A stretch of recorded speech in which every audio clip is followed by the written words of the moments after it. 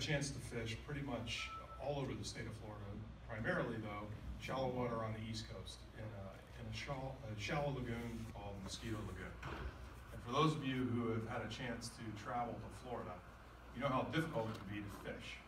The water is clear, the pressure is really high, there are boats everywhere, and the fish limits are quite a bit different. So when I got here to Savannah, I got a chance to uh, fish a little bit different water.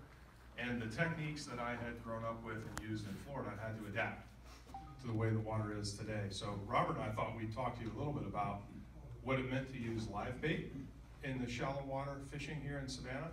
And then how do we use artificials? Because as you all know, there's a time frame when you can access live bait, and then there's a time when you cannot or if you do not want to have uh, shrimp and crabs and fish scales all over your hands, how to use artificial baits. So I think we'll go that direction tonight. He, he's absolutely a live bait expert. I would throw that out there. So I'll, I'll let you run with that one, Robert. Okay. Um, the live bait, uh, a couple options. Catch it yourself, buy it from somebody else. Um, I will, in the summertime, late summertime, I'll look at the tide and if I've got an outgoing tide or an incoming tide, then the early part of the incoming tide and the early part of the outgoing tide, the and I'm talking about casting for shrimp now. The shrimp will be moving from the deeper water up into the marsh, and when the tide starts going out, they'll start coming out of the marsh and moving back to the deeper water. And that's all a survival instinct, instinct in, in feeding. Um, you know, they're, they're going up in the marsh to get food and they're trying to stay away from predators. Um, so late summer, usually anytime mid-July, once the water gets really warm, um, I'll, I'll look at the tide charts and I'll head down to Delegal with a cast net and I'll work the docks. Um, so that, that first finger dock that, that runs from the boardwalk if it's an, if it's a, the first part of the incoming tide, that tide is just starting to come up underneath the dock there. All along there is really great. Um, you do, I say this with any, any type of fishing or casting, it's probably worth your while to go find the largest high tide and the opposite of that high tide, the low tide, go down to those places where you're gonna throw your cast net because there is a lot of structure down there that you'll lose your cast net if you don't. So if you know where the pylons are, it always helps before you go start throwing your cast net and up underneath there. But um, get your bait, and usually within 15 or 20 minutes, you can have enough bait to fish for two, two, three hours. Um, just get a bubbler on a uh, five gallon bucket, and I'll put it in the back of the truck, and I'll go hit my favorite lagoons. And if I'm not gonna fish shrimp, or if I, if I don't have time or don't want to deal with the hassle of going to cast shrimp, I'll go over the bridge to Bandy's and buy some. Or I'll, you know, sometimes the uh, Landings Harbor has bait. You go down there and buy a pint. You don't have to buy a quart. Um, and to get your bait to start with. Now the other options are that I will fish with here are fiddler crabs and um, mud minnows and finger mullet pinfish. And there just doesn't seem to be a time that you can't go and catch finger mullet in the lagoons at some point during the day.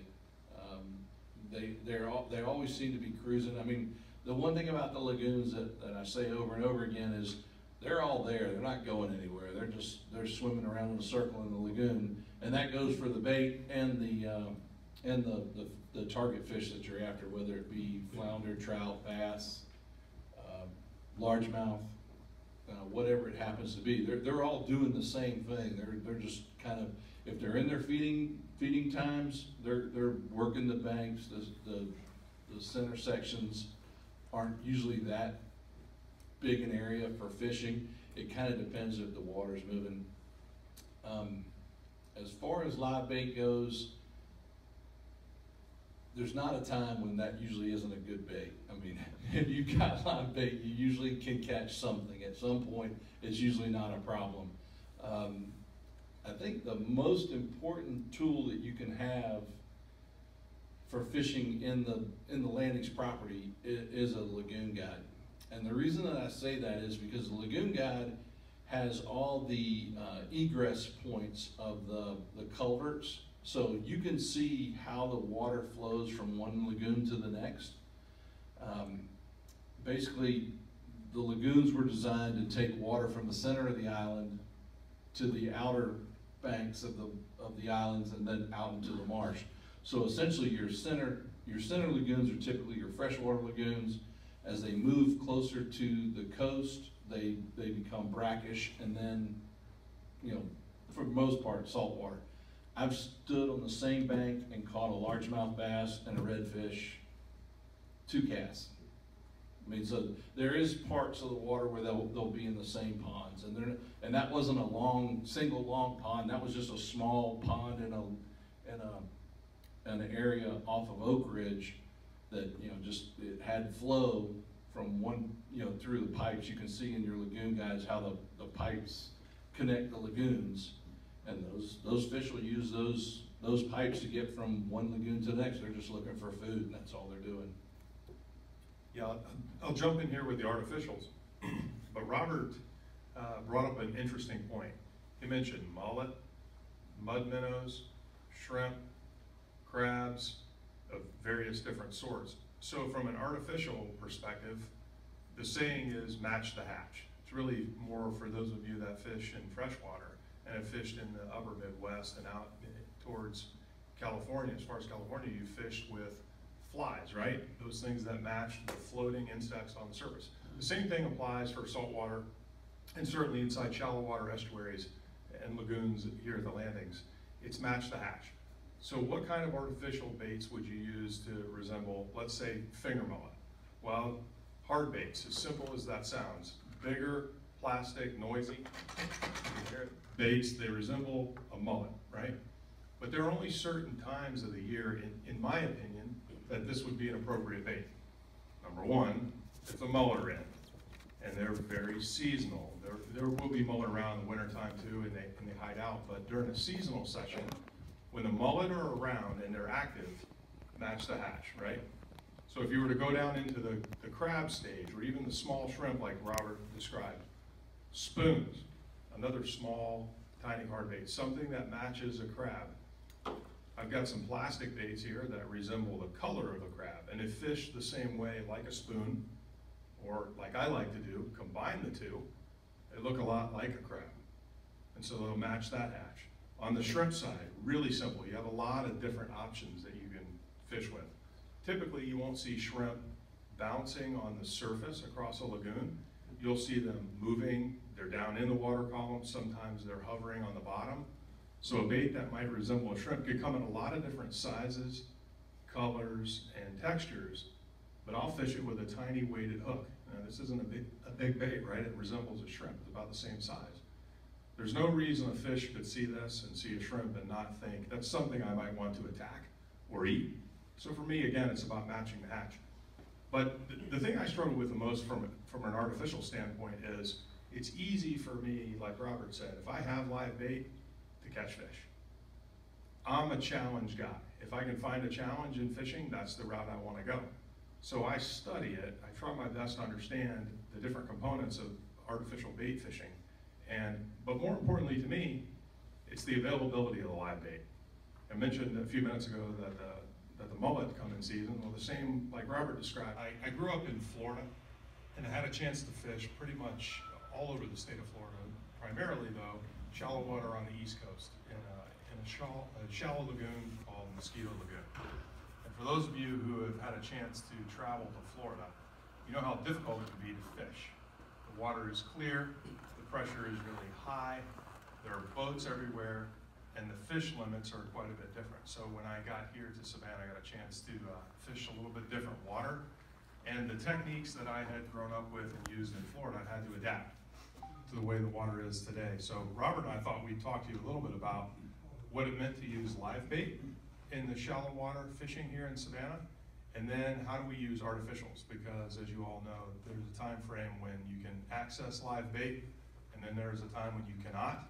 Or if you do not want to have uh, shrimp and crabs and fish scales all over your hands, how to use artificial baits. So I think we'll go that direction tonight. He, he's absolutely a live bait expert. I would throw that out there. So I'll, I'll let you run with that one, Robert. Okay, um, the live bait, uh, a couple options, catch it yourself, buy it from somebody else. Um, I will, in the summertime, late summertime, I'll look at the tide, and if I've got an outgoing tide or an incoming tide, then the early part of the incoming tide and the early part of the outgoing tide, the, and I'm talking about casting for shrimp now, the shrimp will be moving from the deeper water up into the marsh. And when the tide starts going out, they'll start coming out of the marsh and moving back to the deeper water. And that's all a survival instinct, instinct in, in feeding. Um, you know, they're, they're going up in the marsh to get food and they're trying to stay away from predators. Um, so late summer, usually anytime mid-July, once the water gets really warm, um, I'll, I'll look at the tide charts and I'll head down to Delegal with a cast net and I'll work the docks. Um, so that, that first finger dock that, that runs from the boardwalk, if it's an, if it's a, the first part of the incoming tide, that tide is just starting to come up underneath the dock there. All along there is really great. Um, you do, I say this with any, any type of fishing or casting, is probably worth your while to go find the largest high tide and the opposite of that high tide, the low tide, go down to those places where you're gonna throw your cast net. Because there is a lot of structure down there that you'll lose your cast net if you don't. So if you know where the pylons are, it always helps before you go start throwing your cast net up underneath there. But, um, get your bait, and usually within fifteen or twenty minutes, you can have enough bait to fish for two, two, three hours. Um, just get a bubbler on a, uh, five gallon bucket, and I'll put it in the back of the truck, and I'll go hit my favorite lagoons. And if I'm not gonna fish shrimp, or if I, if I don't have time or don't wanna deal with the hassle of going to cast shrimp, I'll go over the bridge to Bandy's and buy some, or I'll, you know, sometimes the, uh, Landings Harbor has bait. You go down there and buy a pint, you don't have to buy a quart, um, and to get your bait to start with. Now, the other options are, that I will fish with here, are fiddler crabs and, um, mud minnows and finger mullet pinfish. And there just doesn't seem to be a time that you can't go and catch finger mullet in the lagoons at some point during the day. Um, they, they're all, they always seem to be cruising. I mean, the one thing about the lagoons that, that I say over and over again is they're all there. They're not going anywhere. They're just, they're swimming around in a circle in the lagoon. And that goes for the bait and the, um, and the, the, the target fish that you're after, whether it be flounder, trout, bass, uh, largemouth, uh, whatever it happens to be. They're, they're all doing the same thing. They're, they're just kind of, if they're in their feeding, feeding times, they're, they're working the banks, the, the, the center sections aren't usually that big an area for fishing. It kind of depends if the water's moving. Um, as far as live bait goes, there's not a time when that usually isn't a good bait. I mean, if you've got live bait, you usually can catch something. At some point, it's usually not a problem. Um, I think the most important tool that you can have for fishing in the, in the landings property i- is a lagoon guide. And the reason that I say that is because the lagoon guide has all the uh, egress points of the, the culverts. So you can see how the water flows from one lagoon to the next. Um, basically, the lagoons were designed to take water from the center of the island to the outer banks of the, of the islands and then out into the marsh. So essentially, your center, your center lagoons are typically your freshwater lagoons. As they move closer to the coast, they, they become brackish and then, you know, for the most part, saltwater. I've stood on the same bank and caught a largemouth bass and a redfish, two casts.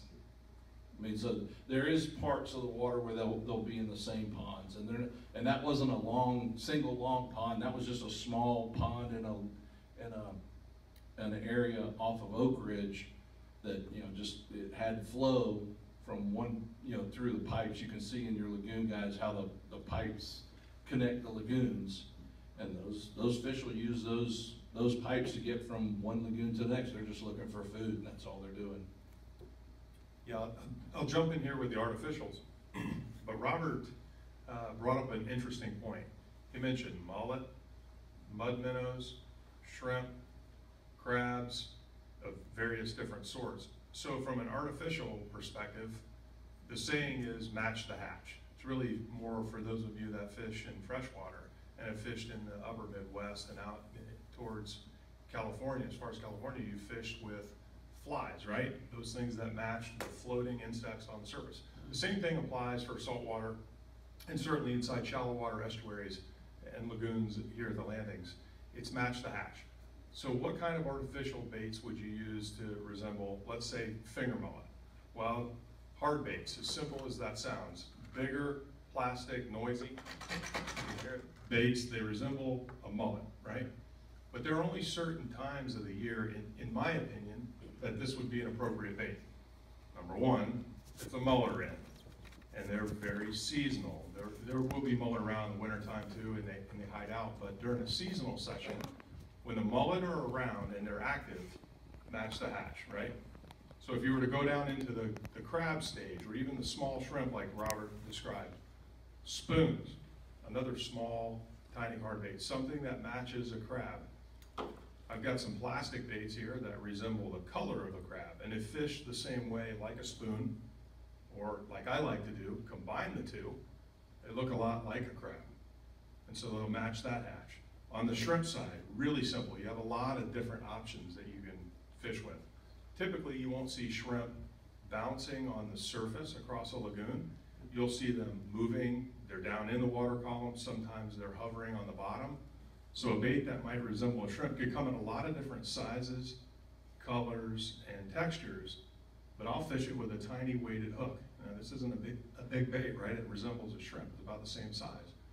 There's no reason a fish could see this and see a shrimp and not think, that's something I might want to attack or eat. So for me, again, it's about matching the hatch.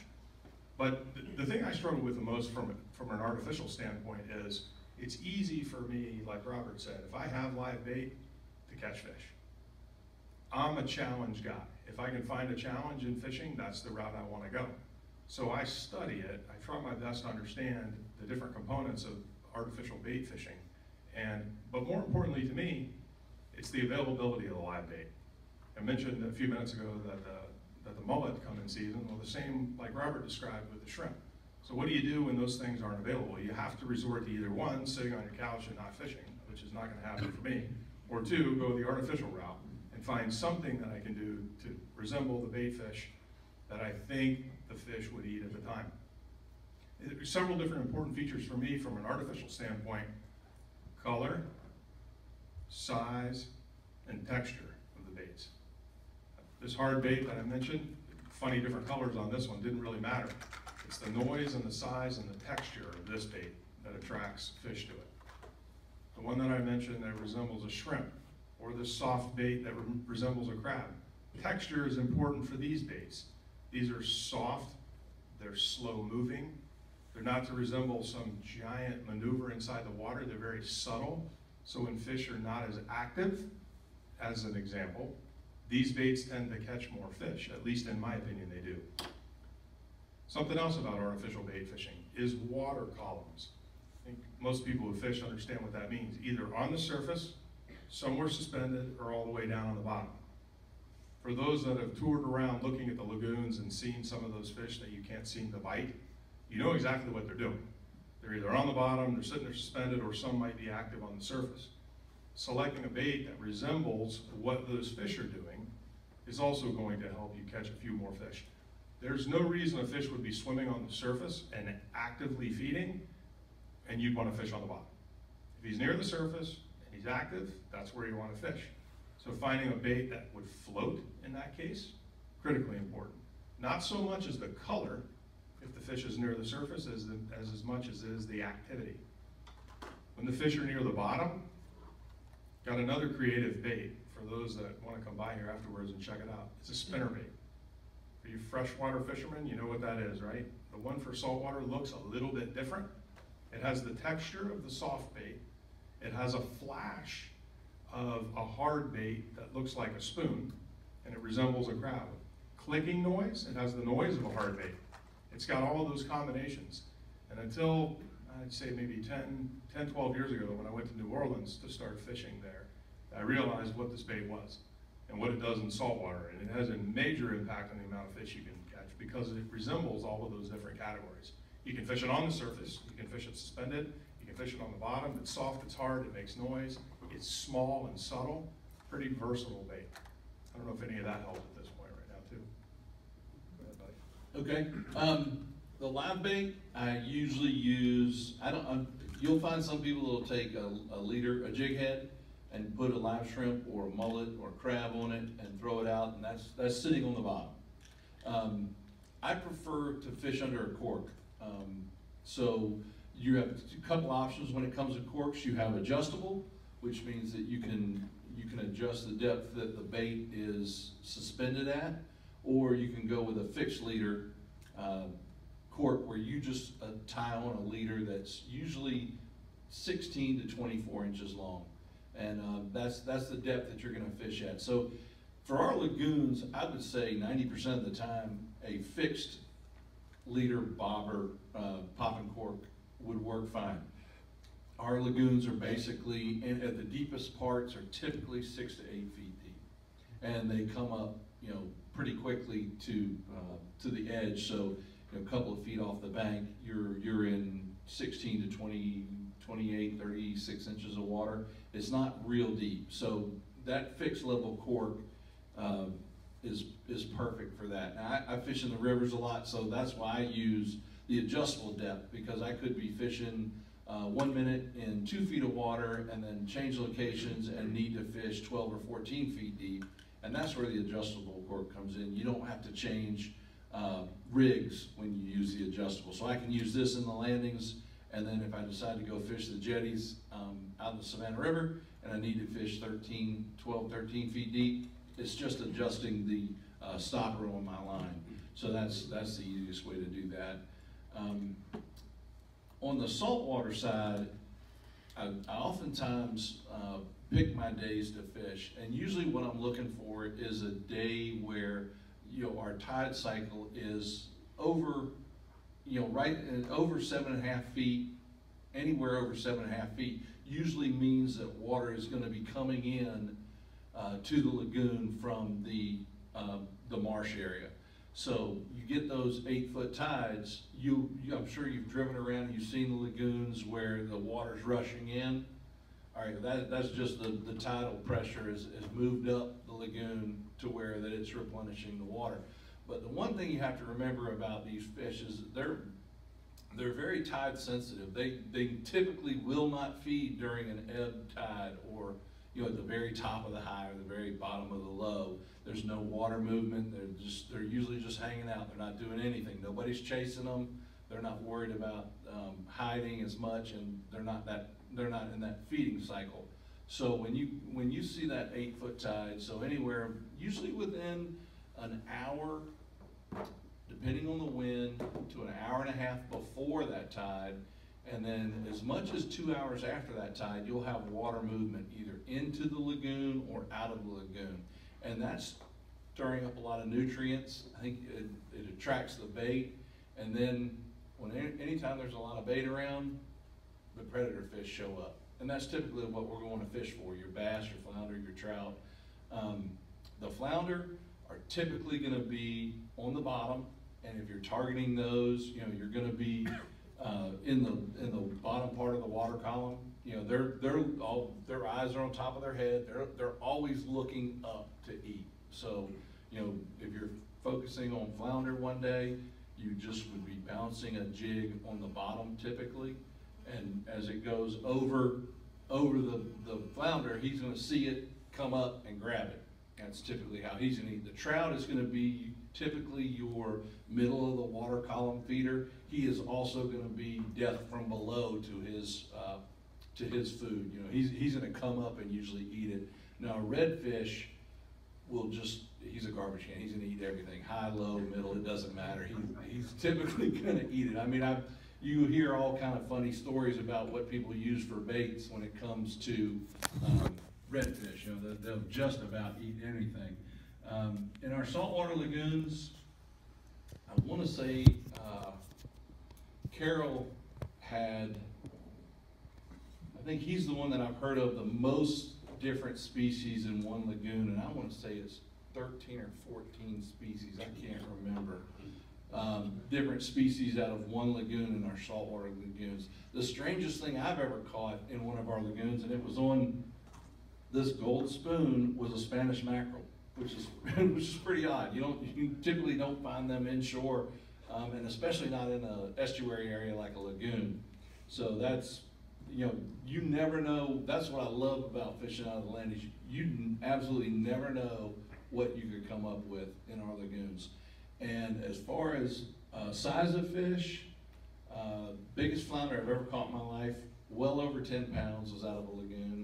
Uh, redfish, uh, every bit of the width of a golf cart. I'm trying to remember. I want to say he was forty plus pounds. Uh, and that was kind of caught close to here. Um, Secret spot. in the mouth, caught in the mouth, always.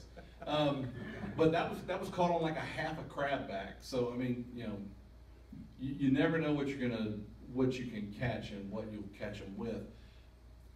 I think, for me, you fish for a lot of different reasons. If you're fishing for food, I wouldn't suggest doing it in the lagoons, although they tell us the water is, the water clarity, or the water pollution level is good, I, I still, if I'm gonna eat something, I'm gonna be out on on the, uh, open water side. So for me, fishing out landings is sport. I enjoy it. I like to be able to release the fish that I catch, so I know that I come back next time, at least there's one fish in there that I can catch again. Um, But it's therapy for me as much as anything, just kinda going out there and fishing. And I need to thank you guys, cause I had an excuse to, that I, a valid excuse that I used yesterday when, you know, it got to be mid-afternoon. I said, well, you know, if I'm gonna talk about fishing at Landings, I better go.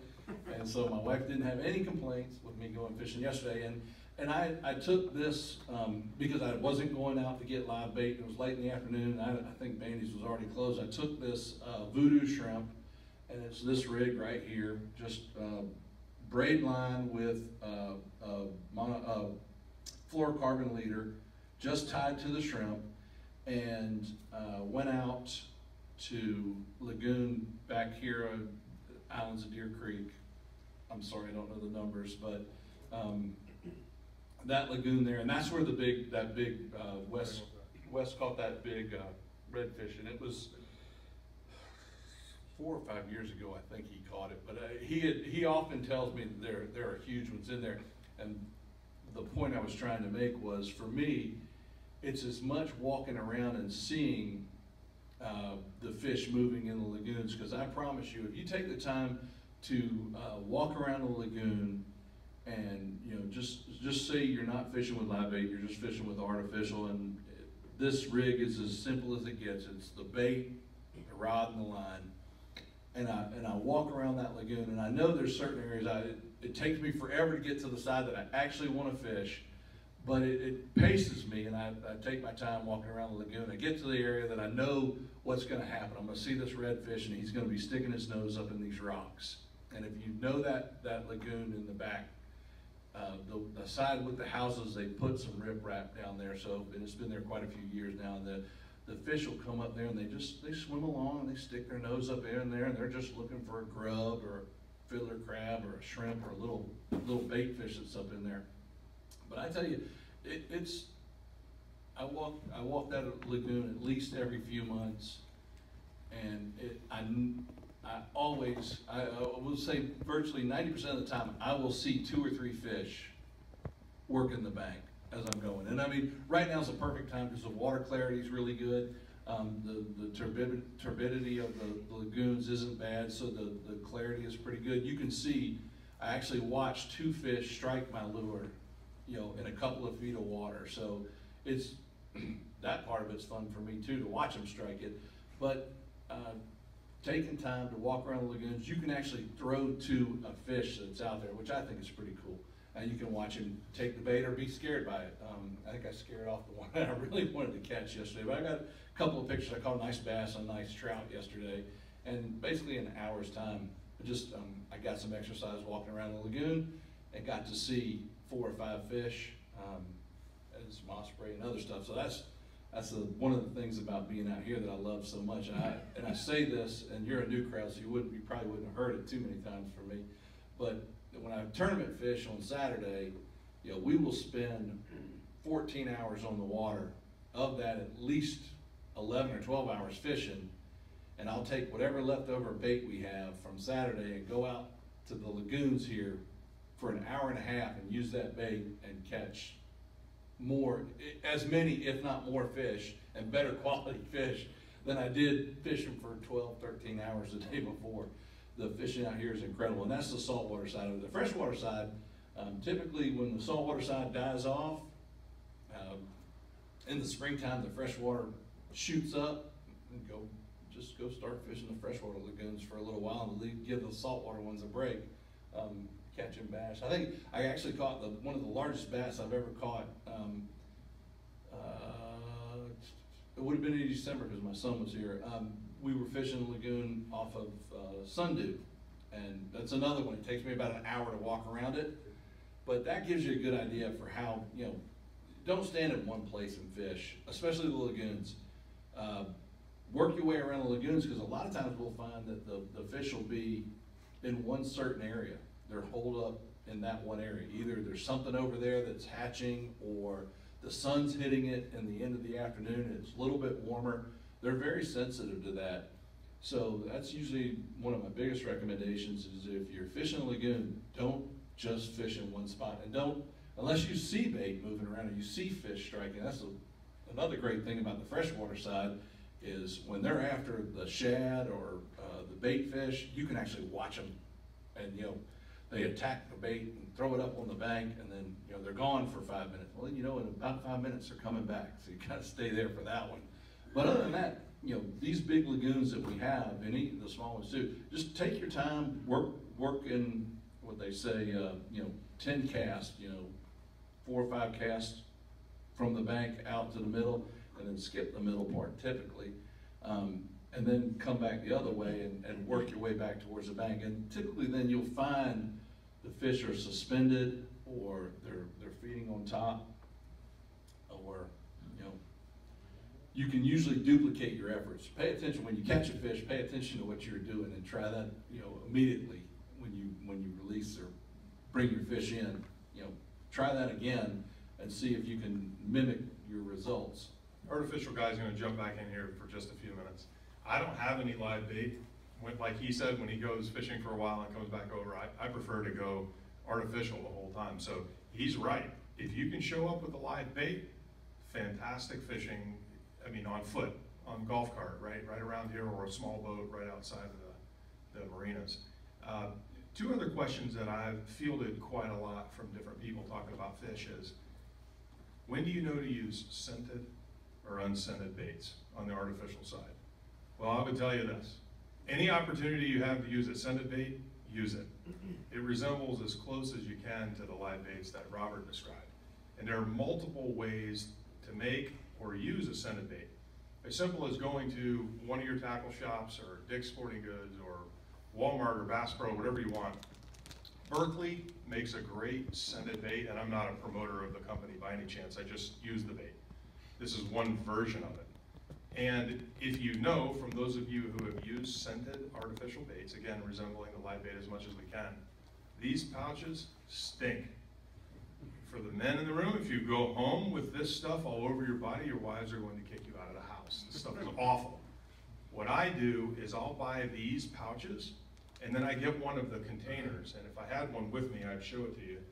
It's about, thi- you can buy them about this big in the same place, and they have a bunch of baits in them. Well, you can continue to cycle all the different other baits that you use and put them into that scented container, leave them there for a while and use them again. So once you get that container, don't throw it away. I have some that I've used for ten years, and they're still sitting in my garage, and I'll still dump my baits in there for a few days before I fish with them. So, uh, neat little key there. Next question I get is watercolor. What do we do with baits? Well, much like a chameleon, the chameleon's on, on the grass, he's gonna turn green, he's on your fence, he's gonna turn as brown as he can. The bait fish and even the shrimp will do the same thing. If you see water quality that's really clear, like Robert described right now through the winter time, it's difficult to fish a dark bait and get positive reaction to it all the time. you're trying to limit the amount of loss that you have when you're fishing. You fish a dark bait in clear water, there's a lot of loss. The fish are skittish from it, they'll, end, they'll tend to turn away from it, they don't notice it. They know something is up, because when the water is clean and clear, the baits will look a lot like the bottom of this one right here. Even though it's a hard bait, it's not something I typically would fish in clear water, they'll look a different color. You, you've noticed them too if you throw a cast net or you pick up shrimp that are in white sand versus dark mud, they have a different color. So do your best to pick up an artificial bait that resembles the fish that you see in the water from a size perspective, but certainly from a color perspective. Uh, I know we want to get you all out of here because I guess there's a football game on tonight, so Robert's not on. But we do want to leave uh, as much time as we can for, for questions and answers. But I have one other thing. Somebody asked me as they were walking in, in here tonight, what is the go-to bait if you had to throw it from an artificial standpoint all the time? And I was digging through my tackle box, y'all may have seen me a few minutes ago, I was putting it together, and then I realized like an idiot, it's on the end of one of my fishing rods, because it really is my go-to bait. Really difficult to beat a small lead head with this color, a chartreuse curly tail bait. It's soft, it's small, it resembles a shrimp or a bait fish or a crab or whatever the heck it is that climbs out of the mud. The color, for some reason for me, seems to get the most strikes. If I had a go-to bait, this would be it right here. It'd probably cost a whopping ninety-seven cents to put together at Walmart if you wanted to put them mm. together. You're welcome to come up and take a look at them. So I guess with that, we'll open it up, Robert. Fire away. I've never fished shrimp before, I'm from, from the north. Do you jig it, Wait, wait, cast it out and just?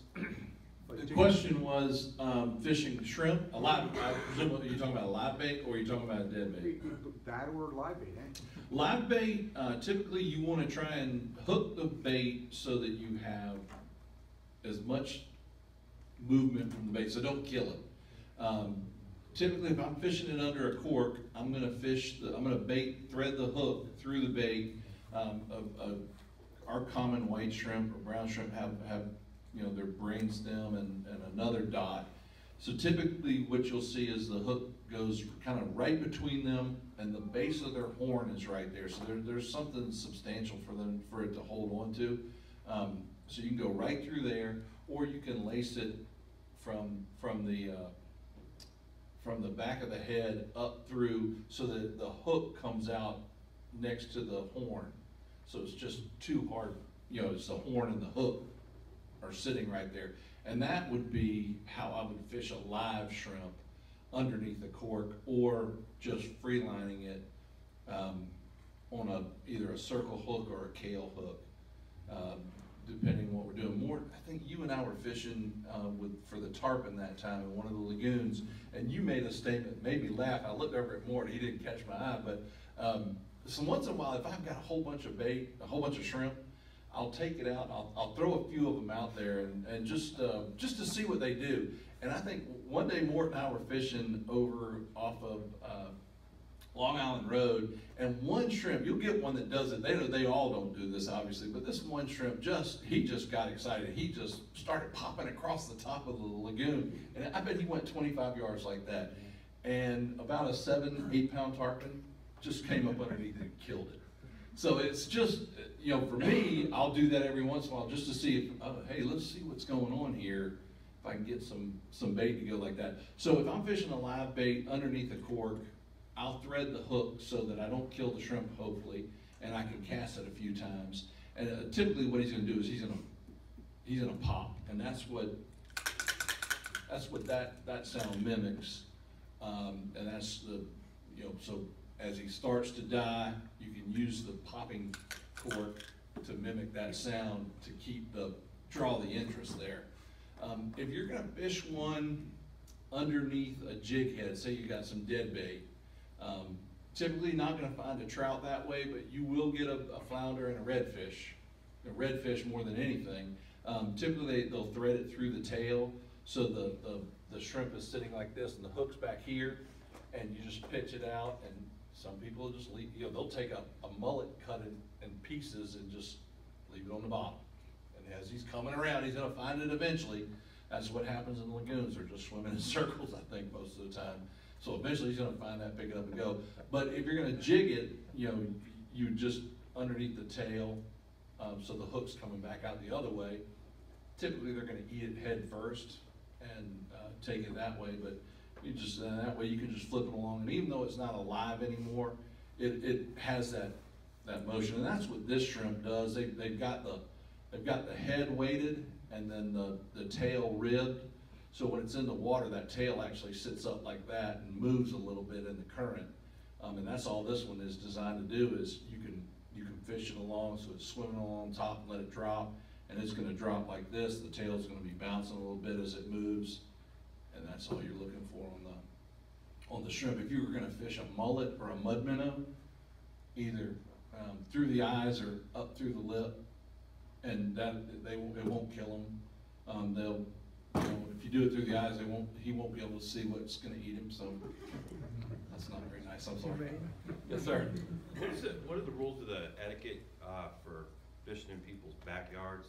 Um, I've had good things and bad things. The Landings Association, um, typically owns a, a, about eight to ten feet from the high water mark around the lagoons that the Landings Association is in charge of. That does not include lagoons that are on the golf course, because the golf course owns those. It's a totally different game there, uh, totally different game if golfers are present, you know, you're you're really wearing out your welcome really quickly. I try to, uh, I try to always be respectful of whoever's property I'm close to when I'm fishing. If I see some trash, I'll pick it up. Um, I don't look in people's windows, I'm, I'm kinda looking at the fish, so I, most people will come out, especially if you catch something, they're, they're curious. Um, they'll come out and ask you questions. But I, I think for most parts, um, you, you have a, you have certain rights within eight to ten feet of the high water marks of the bank, typically of the water. Um, I wouldn't go tramping through somebody's, you know, twenty yards up somebody's yard.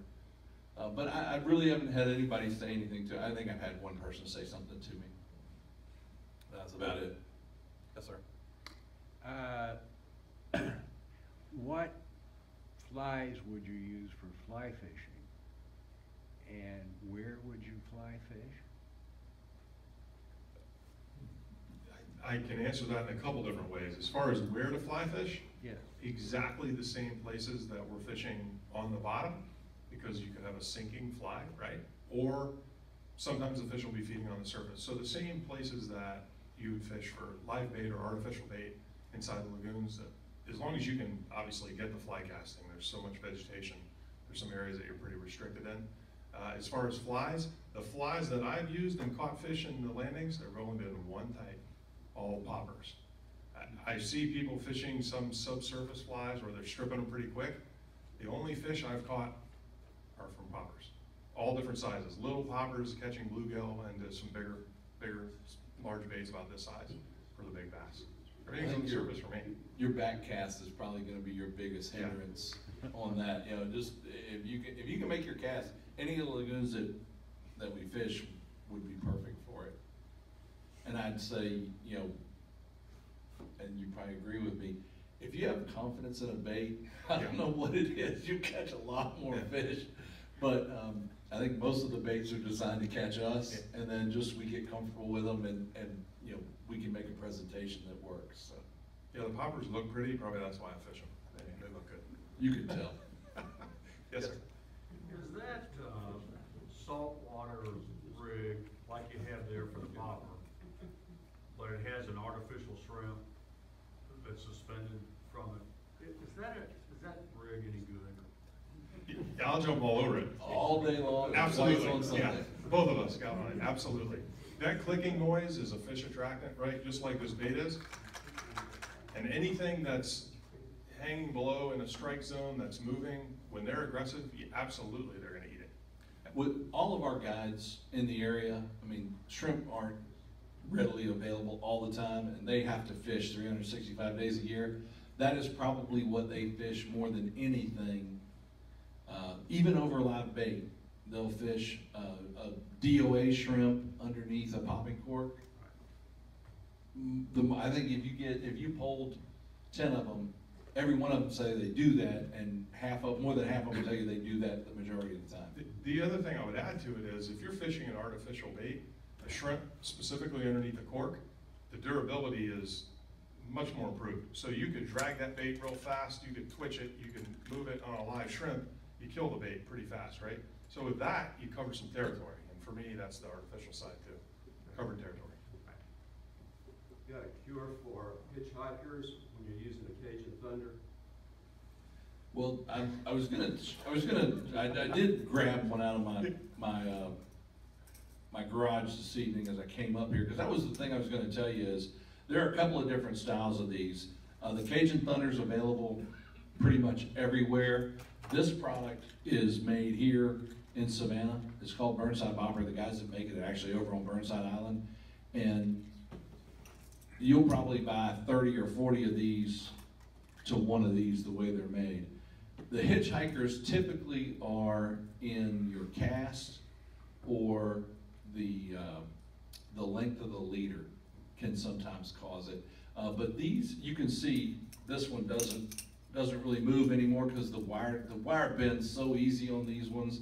The, the Cajun Thunder, the, uh, electric, not the electric chicken, it's the, uh, Thunder Chicken. Thunder Chicken, the Billy Bob baits, all of them, th- th- they're just made as cheaply as possible. You know, for a couple of dollars more, you get this, these ones, and these things will last you until you lose them. That's, that's the biggest difference in these. The sound on these is better too, but, um, What's the size of the sinker on that? on this one, it is a quarter ounce, I think. It's a small one. But the, uh, the hitchhiker is, is typically, uh, when you're, when you're releasing it, it, the bait gets, the bait gets dragged behind and the cork gets in front of it. And typically happens when you're throwing in the wind, I would guess, for, that's when I see it happen the most. And what happens is, uh, for me, sometimes that, that, uh, uh, fluoro gets, gets wrapped and it, and it has a little bit of memory, some, especially if you use mono. Mono's the worst because it does get some memory to it. And once it gets that wrap memory, it has a tendency to do it more often. So you can trim up your, your leader and see if that helps. So, question back here. Uh, Robert, this question might really be more to Vic, but, um, we're catching a lot of crappie. Um, you know, and probably just as many crappie as bass. You know, there's one pound, one and a half pound, two pound, which is kinda nice, uh, not as much fun as a bass. But, um, I'm just wondering what's, what CCA, you know, what our stance is on crappie, what do you wanna do with them? Um, I don't know, throwing a Well, there's a, a, a philosophy, philosophy behind why crappie take over. And essentially, they will spawn earlier and start eating other spawn before they have a chance to hatch. So they typically, from a, a pond management side standpoint, they don't want you to stop crappie in anything less than a five acre lagoon. Because they can so quickly outpace the, uh, the other fish. And I guess my fish man right over there probably talk more about that than any of us. I don't think there, there isn't a, uh, a plan as far as moving. Crappie tastes good, so maybe that's, that's something that helps us. Alright. Yes, sir. On your spinning rigs, what, uh, line weight and leader weight would you suggest? Uh, Inside the lagoons, as light as possible. And quite frankly, from my perspective, number one, they're easier to fish a light bait, and I like a light, small bait. I'm not typically a big bait guy, so light line, light bait. Uh, secondarily is, I don't really care if I lose a fish, so I would just as soon fish light line as a challenge. As you probably are all catching from this conversation, I, I like the challenge with it, so I fish as light as possible. If I fish a braided line, and I brought some with me tonight, some Power Pro, I'll fish fifteen pound Power Pro, which is the diameter, I think it's four or six pound mono, something like that. So is that what you say you got in your tackle box? I got some of it in there. No, you don't, it's twenty. Is it twenty? Okay, so it's close enough. Uh, if I fish mono, it's eight or ten pound line at the heaviest, something really light. I always, uh, whether on my big rods, uh, I will fish fifty pound braid, and just go down, you know, my leader is where my break point is, so I, I don't wanna lose my rig, so my leader is always, the, the circumference, or the diameter of the braid is so small, I think fifty pound braid is twelve to ten pound mono diameter. So I don't, I don't really have a problem with that, and, and it lasts for so long. On my big rods, sometimes when I'm fishing out in the, the creeks and stuff, you know, I can, I can set it back seventy-five yards sometimes, you know, if I'm fishing long, down a long bank with a good drift. So I, I like to have a little bit more weight on my braid, but my, my fluorocarbon or my mono leader is always gonna be less than twenty pounds or less. Yeah, I'll add something to Robert's comment about durability. For recreational fishermen, like most of us are, and Roger would obviously disagree with this, but I've had this line on my Stradic for, you know, I'll have it on there for, sometimes, I know this sounds funny, ten years, for recreational fishermen. So you could go through a mono and because it gets old and crusty on your reels, if you fish a braided line, I mean, it can last as long as you wanna fish it, really. To me, it does. When's the last time you caught a fish? Yeah. Robert, do you mark your line as far as the, the braid, you lock it out? I don't. I, I, on my, on my big rods, I have the yellow, and actually I bought this rig at River Services right before Christmas, because I needed something else to play with. What about a red line? It's white, so I don't, I don't, you know, there, there are theories behind the, the red line going out. The um, red line on, on fluorocarbon, I mean, on braid? Yeah, I, to me, I don't, I usually fish enough of a leader that I'm, I'm not right there by the, by the bait. I think nine rounds broke too. What does it mean, red line? Uh, the, the UV, um, in the water, they say that the red line becomes invisible. Oh, okay. That, okay, that red line. Thought you were marking the distance you Uh, no, no, no, you were talking about the actual color of the line, Alan, right? Yeah. As far as visibility goes? were. Yeah. The challenge guy doesn't care what color his line is, just throwing it out. I always mark the line. Challenge. That's right.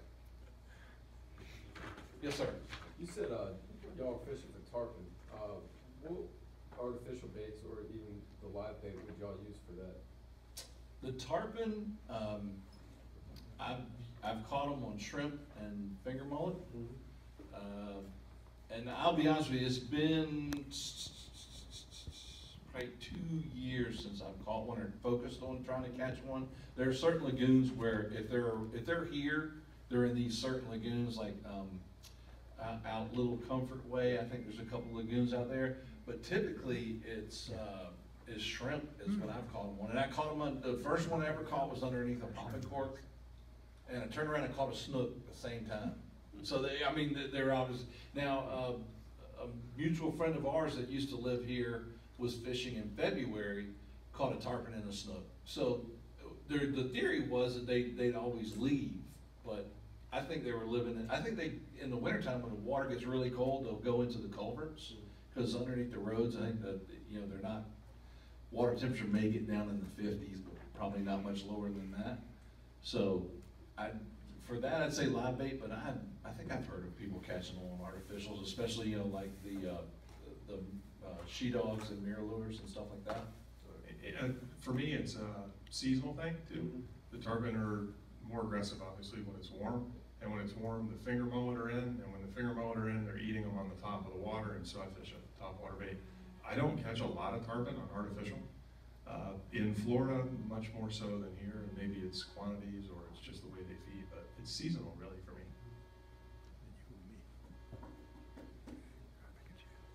All right. Anything else? That help?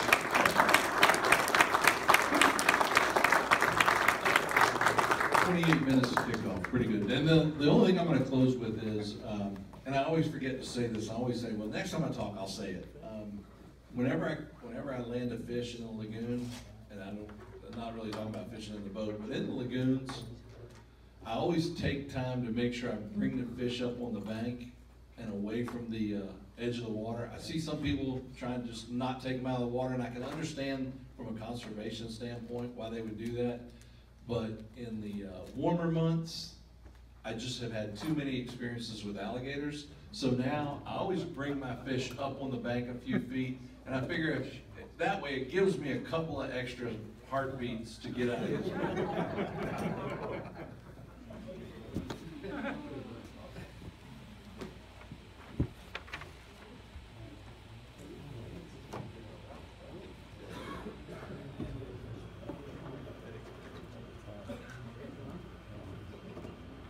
You want us to stay up here for just one I'd like you to stay up here so we can give you guys a round of applause. Uh,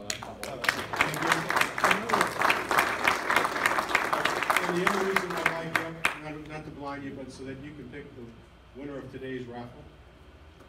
And while, while we're getting ready to do that, I'd like two announcements to make. I, I said it earlier, but I've been told that I did not say it.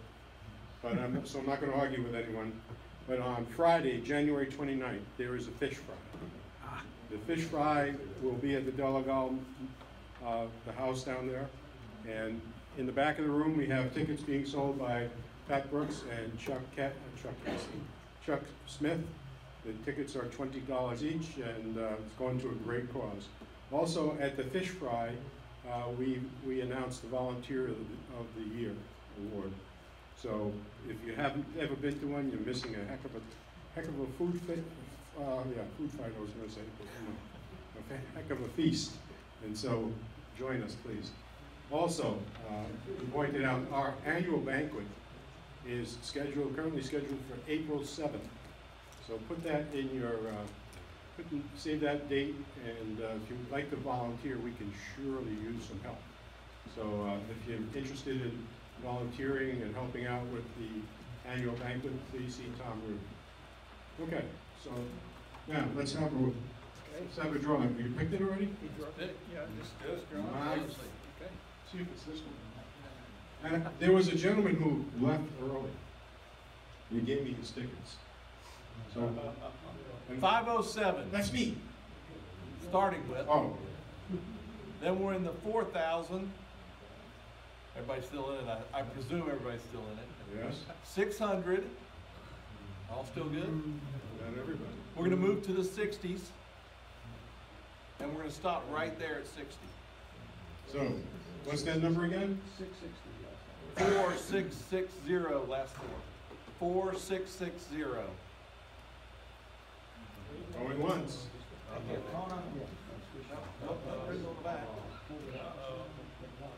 Cut it out. Nobody else, nobody left. Really? Five oh seven, four, six, six, zero. All right, You gonna say going once? going twice? once, going twice. Next number, please. Five oh seven, forty-five, four zero. Came close. Hello, anybody? Got the right jar here? You sold a ton of tickets last. Oh, that- There we go. There we go. just a little slow on the. Yeah. Roll Tide. Good luck, buddy. Okay, well, just, just to close up the meeting. Yep. I'd like to remind you. That's your winner. I'd like to remind you of the program next month. Uh, this is a program that we've had previously, uh, in years past. We asked Sean Burgess, who's the environmental manager for the landing, to come in and talk to us about what's going on and what they see. It, it's gonna be a very interesting, uh, discussion, not only talking about the challenges and opportunities we see in the fisheries, but also some of the various programs that, that we have working here. So, please join us. And thank you all for coming, and see you next February. February eighth. Good night.